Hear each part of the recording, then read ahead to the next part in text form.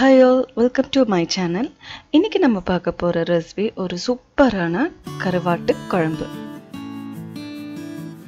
இப்போ இதுக்கு தேவையான பொருள் பார்த்தீங்கன்னா செம்மீன் கருவாடு அதாவது இறால் கருவாடு அப்படின்னு நினைக்கிறேன்.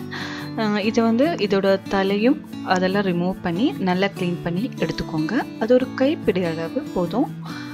அதுக்கப்புறம் பார்த்தீங்கன்னா கொஞ்சம் கருவேப்பிலை பச்சை மிளகு இஞ்சி அப்புறம் சின்ன வெங்காயம் ஒரு ரெண்டு மூணு. அதுக்கப்புறம் மாங்காய் நல்ல புளிக்கிற மாங்காய் இது வந்து ஒரு சின்ன மாங்காய் அது நம்மளோட புளிக்கு தகுந்த மாதிரி எடுத்துக்கோங்க. இப்போ ஃபஸ்ட்டு ஸ்டெப் பார்த்தீங்கன்னா செம்மீனை வந்து நல்லா ரோஸ்ட் பண்ணி எடுத்துக்கோங்க. அதாவது ஆயில் எல்லாம் விட வேண்டாம். நார்மலி அப்படியே ரோஸ்ட் பண்ணி எடுத்துக்கோங்க. இது ரோஸ்ட் பண்ணும்போது இதோட ஒரு டிஃபால்ட் பார்த்தீங்கன்னா பயங்கரமாக ஸ்மெல் வரும். அது மட்டும் தான் ஆனால் இது ரோஸ்ட் பண்ணால் தான் அந்த கறிக்கு வந்து அதாவது அந்த குழம்புக்கு வந்து நல்ல டேஸ்ட் நல்ல ஃப்ளேவர்ஸ் கொடுக்கும். ஸோ நல்லா ரோஸ்ட் பண்ணி எடுத்துக்கோங்க. அதே கருக வேண்டாம். ஜஸ்ட் ஒரு ப்ரௌன் கலர் ஆகிற வரைக்கும் ரோஸ்ட் பண்ணி எடுத்துக்கோங்க. இந்த மாதிரி மீன் குழம்பு இந்த மாதிரிலாம் பண்ணும்போது முடிஞ்ச அளவு மண் பாத்திரத்தில் வைக்க ட்ரை பண்ணுங்கள் ஏன்னா இது ஹெல்த்தியும் டேஸ்டியும் கூட. இப்போ இது கூட மஞ்சள் தூள் ஒரு ஹாஃப் டீஸ்பூன் சில்லி பொ மிளகு மிளகு பொடி ஒரு ரெண்டு டீஸ்பூன் அதுக்கப்புறம் அந்த இஞ்சி பச்சை மிளகு சின்ன வெங்காயம். இது மூணு சேர்த்து கொஞ்சம் க்ரஷ் பண்ணி எடுத்தது பேஸ்ட் பண்ண வேண்டாம். அதுக்கு அது கூட இந்த செம்மீன் ட்ரை பண்ணி ரோஸ்ட் பண்ணி வச்ச செம்மீனை நம்ம ஆட் பண்ணிக்கணும். நான் இங்கே மிளகு தூள் அப்படின்னு சொல்லிட்டேன். மிளகு தூள் கிடையாது மிளகாய் தூள் ஓகே அப்புறம் பார்த்தீங்கன்னா கொஞ்சம் உப்பு. இது எல்லாம் சேர்த்து நல்லா மிக்ஸ் பண்ணி எடுத்துக்கோங்க. கையாலே நல்லா மிக்ஸ் பண்ணிக்கோங்க. இது கூட கொஞ்சம் ஒரு டீஸ்பூன் ஒரு தேங்காய் எண்ணெய் சேர்த்துக்கோங்க. நான்வெஜ் பிரியருக்கு இந்த ரெசிபி கண்டிப்பாக பிடிக்கும். ஸோ அவங்களுக்கு ஷேர் பண்ணுங்கள்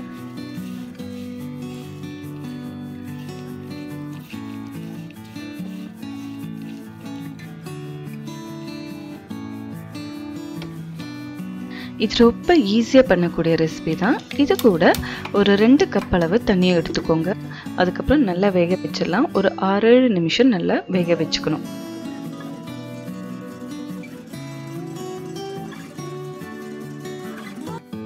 இப்போ நம்ம வந்து உப்பெல்லாம் செக் பண்ணிக்கலாம். உப்பு காரம் இதெல்லாம் கரெக்டாக இருக்கான்னு செக் பண்ணிக்கலாம்.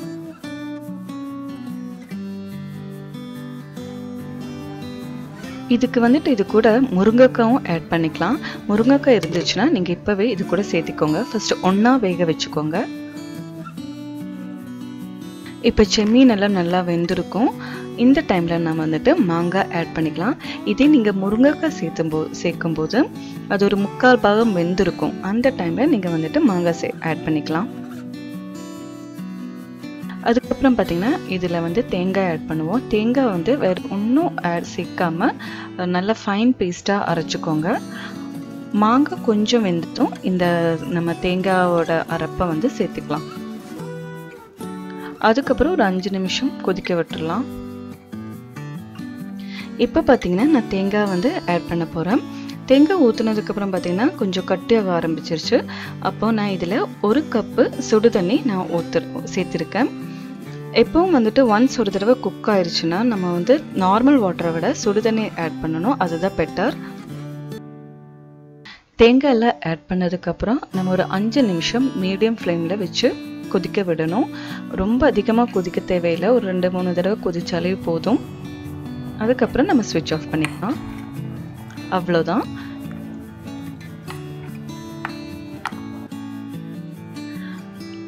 அடுத்த ஸ்டெப் பார்த்தீங்கன்னா தாளிக்கிறது தான் லாஸ்ட்டு ஸ்டெப்பு இங்கே வந்து சின்ன வெங்காயம் கருவேப்பிலை. இது மட்டும்தான் எடுத்திருக்கேன். இதை வந்து தேங்காய் எண்ணெயில் நான் தாளிச்சிருக்கேன். தேங்காய் எண்ணெயில் தாளிக்கும் போது தான் நல்ல மனம் நல்ல ஒரு டேஸ்ட்டும் இருக்கும்.